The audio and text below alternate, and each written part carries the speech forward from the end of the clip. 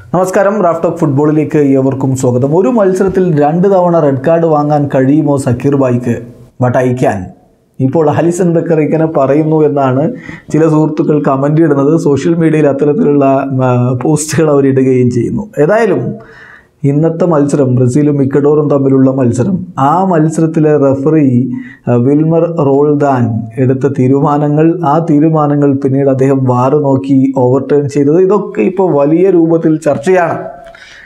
അതിനെക്കുറിച്ച് തന്നെയാണ് ഇപ്പോൾ അലിസൺ ബക്കറും പറയുന്നത്. തനിക്ക് രണ്ട് തവണ റെഡ് കാർഡ് ലഭിച്ചിട്ടും കളിക്കളത്തിൽ തുടരാൻ കഴിഞ്ഞ ആശ്വാസം എന്തായാലും അദ്ദേഹത്തിന് ഉണ്ടാകും എന്നാൽ അദ്ദേഹം ആ സന്ദർഭങ്ങളെക്കുറിച്ച് വിശദമായിട്ട് പറയുന്നുണ്ട്. നമുക്ക് അത് അറിയാം. അദ്ദേഹം ആദ്യ തവണ പെനാൽറ്റി ബോക്സിന് പുറകോട്ട് പുറത്തേക്ക് ഇറങ്ങി വന്നുകൊണ്ട് ഒരു രക്ഷപ്പെടുത്തലിനുള്ള ശ്രമമാണ്. അദ്ദേഹം ബോൾ കിക്ക് ചെയ്തതിന് ശേഷമാണ് അത് ഇക്കഡോറിന്റെ താരത്തിന്റെ ദേഹത്ത് കൊള്ളുന്നത്. അതുപോലെ തന്നെ മറ്റൊരു തവണ അദ്ദേഹം പന്ത് പഞ്ച് ചെയ്ത് അകറ്റാൻ വേണ്ടി ശ്രമിക്കുമ്പോഴാണ് എതിരാളിയുടെ ദേഹത്ത് കൊള്ളുന്നത്. രണ്ട് തവണയും അദ്ദേഹം ബോൾ വിൻ ചെയ്തിരുന്നു എന്നുള്ളതാണ് യാഥാർത്ഥ്യം. അതുകൊണ്ടാണ് റെഫറി ആദ്യം റെഡ് കാർഡ് കൊടുത്തു. പിന്നെ കുറേ സമയം ഡിസ്കഷൻ ഒക്കെ കഴിഞ്ഞതിന് ശേഷം മോണിറ്ററിൽ പോയി നോക്കുന്നു. തന്റെ തീരുമാനങ്ങൾ അദ്ദേഹം മാറ്റിമറിക്കുന്നു. അതിനെക്കുറിച്ച് ഇപ്പോൾ ആലിസൺ തന്നെ വളരെ കൃത്യമായിട്ട് പറയുന്നുണ്ട്.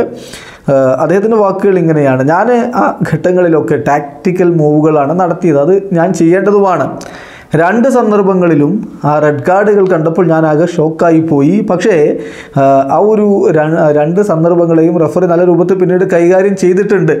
ഈ രണ്ട് ഘട്ടങ്ങളിലും ബോൾ ടോട്ടലി വിൻ ചെയ്തത് ഞാൻ തന്നെയാണ്. ഓപ്പണറിന് മുമ്പ് ബോൾ തൊട്ടത് ഞാൻ തന്നെയാണ്.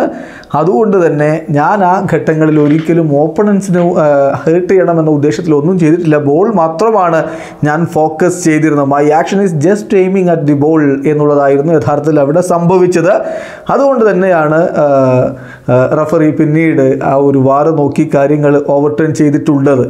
ഇവിടെ ശ്രദ്ധിക്കേണ്ട കാര്യം ഇത്തരത്തിൽ കളിക്കാർ തമ്മിൽ കോണ്ടാക്റ്റ് ഉണ്ടാകുന്ന സമയത്ത് ആ ഒരു ഫിസിക്കൽ കോണ്ടാക്റ്റ് ഉണ്ടാകുന്ന സമയത്ത് പല കാര്യങ്ങൾ പരിഗണിക്കേണ്ടി വരും.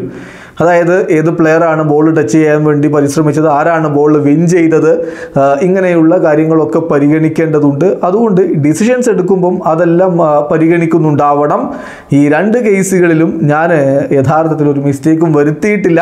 ടെക്നിക്കൽ മൂവ് തന്നെയാണ് ഞാൻ നടത്തിയിട്ടുള്ളത്.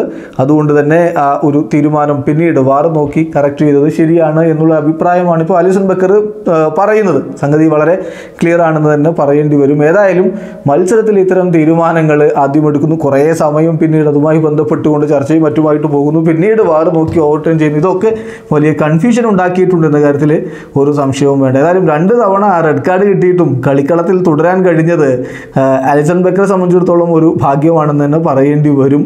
സോ ബ്രസീലിന്റെ അപരാജിത കുതിപ്പ് മുന്നോട്ട് പോവുകയാണ്. വീഡിയോസ് അവസാനിക്കുന്നു. ഫുട്ബോൾ ലോകത്തെ കൂടുതൽ വിശേഷങ്ങളുമായി റാഫ്റ്റോക്സ് വീണ്ടും